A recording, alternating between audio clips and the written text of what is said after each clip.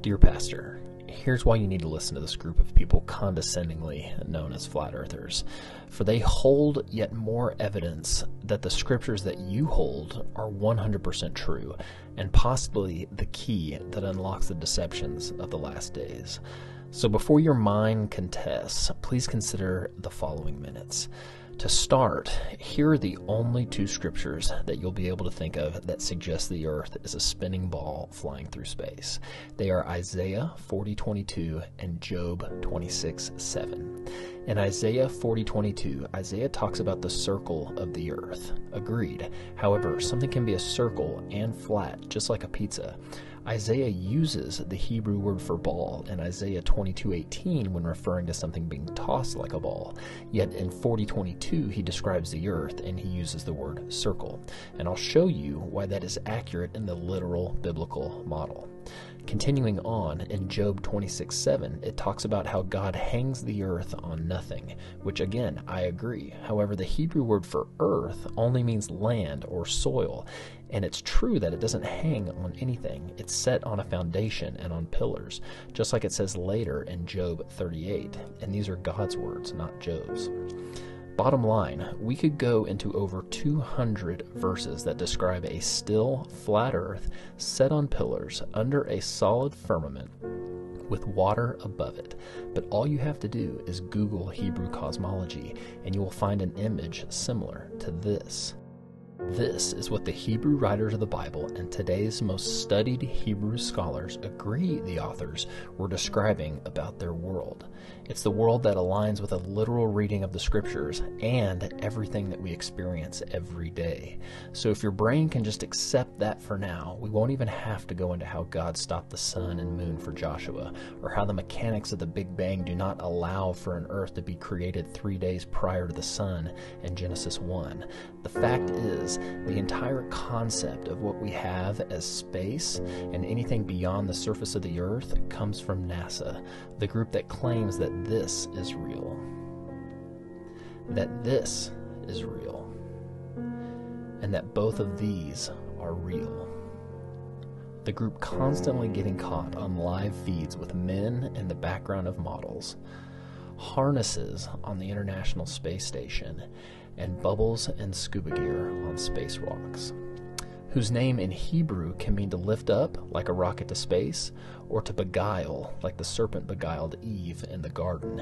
And wouldn't you know it, the NASA logo has a nice big serpent tongue in it, or as the Hebrew word lashon describes, a fork of flame. Not to mention that NASA's Genesis doesn't begin with God, but rather with a group of Nazis, Freemasons, and magicians that name most of their missions after false demigods.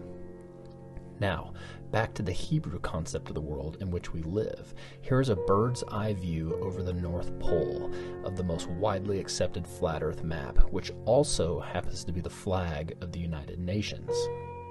You can see how circumnavigation would still be possible from east to west and west to east, and here are the routes of people who claim to have circumnavigated it north to south you can see how Antarctica is no longer a continent at the bottom of the globe, but rather a continental ice shelf that holds the waters in place. And just like you can't fall off a lake, you can't fall off the flat Earth because of the Antarctic shoreline.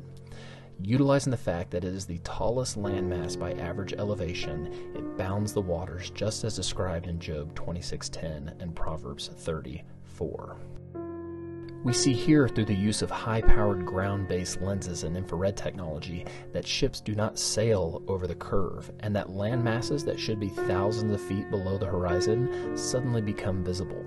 We see on dry days when the sun doesn't get magnified during sunset that it is not setting due to the earth spinning, but rather by retreating beyond our ability to see, similar to a ship on the horizon due to perspective.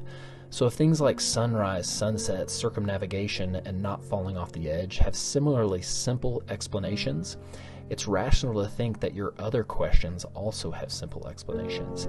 After all, people were existing just fine and predicting celestial phenomena accurately for thousands of years before they were told they were on a spinning ball. And just because something appears to correlate to living on a spinning ball does not mean that it's caused by it. Just like when I go eat lunch at noon, my action of eating correlates to the clock striking noon, but the clock did not cause me to go eat. So I invite you to dig deeper into any of these topics and any others that may surface. This video is not meant to be an all inclusive masterpiece, but rather a sign pointing to a door that needs to be opened. For me, the biggest evidence is not the lack of curvature, or clips of NASA getting caught faking space, or the fact that all their pictures of Earth describe it as an image or a composite. It is the why. In Romans 1, we see that how you can get to know the invisible attributes of God, including His eternal power, through the things that were made. So, if you can actually get to know God through the study and appreciation of His creation, of course there is going to be an evil agenda to dilute that. And how do you dilute something? Well, you pour it into something bigger, like infinite space, and you convince people that they are merely statistical probabilities of an ever expanding, potentially infinite universe, creating a godless religion of scientism which is diametrically opposed to every line of scripture on page one of the Bible. Remember, Jesus rebuked the Pharisees, telling them that they could discern the face of the sky and the earth, but they couldn't discern the age in which they were living, meaning that their cosmology was correct. And what was their cosmology? We need to be able to discern the times and the deceptions in which we live. So I invite you to open your mind, prove all things, hold fast to that which is good, and let God be true and every man a liar. God bless. God is an ever receding pocket of scientific ignorance. All the things that matter for evolution weren't created at the beginning of time. They're created in the nuclear furnaces of stars, and the only way they can get into your body is if the stars were kind enough to explode. So forget Jesus. The stars died so that you could be here today. What is gravity? You have no idea. Okay, next question. Wow. no, here's the difference. We can describe gravity. We can say what it does to other things.